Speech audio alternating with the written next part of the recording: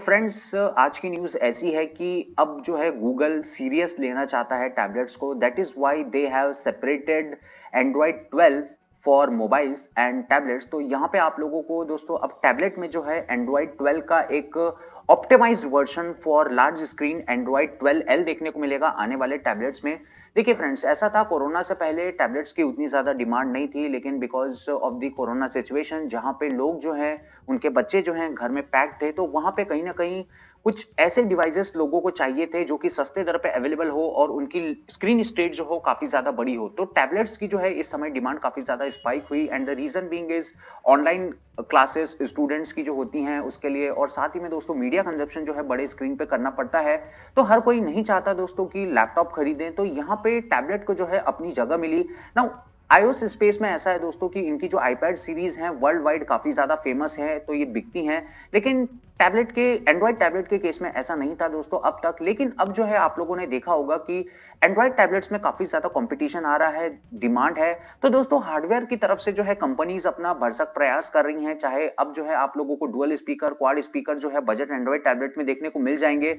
कुछ सालों पहले जो होती थी दोस्तों बिल्ड टैबलेट्स की उतनी ज़्यादा अच्छी नहीं होती थी, लेकिन अब आप लोग देखेंगे कि मटेरियल भी अच्छा हो गया है और डिज़ाइन को भी जो है एंड्रॉइड टैबलेट में यहाँ पे इंप्रूव किया गया है। तो यहाँ पे आखिरी कमी जो मुझे यहाँ पे लगती है वो ये है कि that is the software front तो यहाँ पे अब जो है आप लोगों को एंड्रॉइड ट्वेल्व एल जो है देखने को मिलेगा आने वाले अपकमिंग टैबलेट्स में।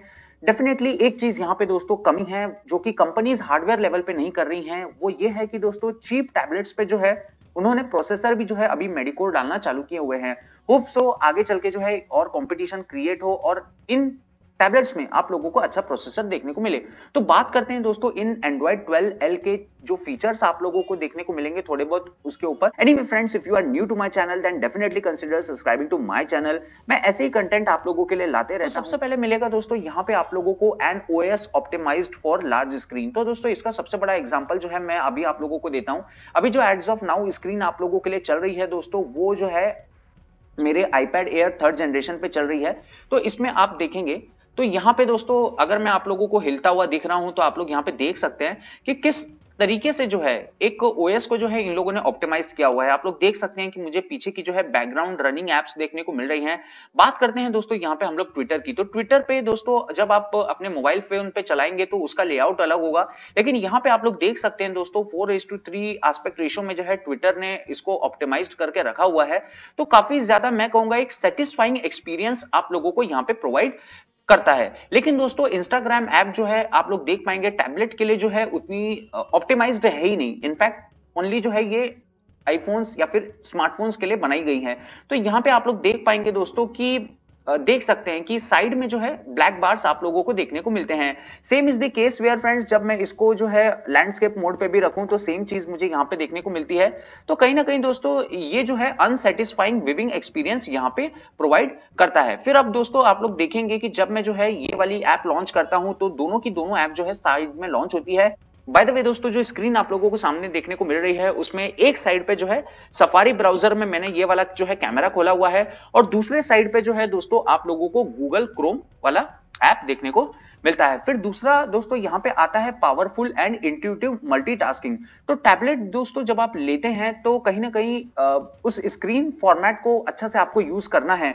तो सबसे अच्छा तरीका यही है दोस्तों कि उसमें जो है मल्टीटास्किंग करें।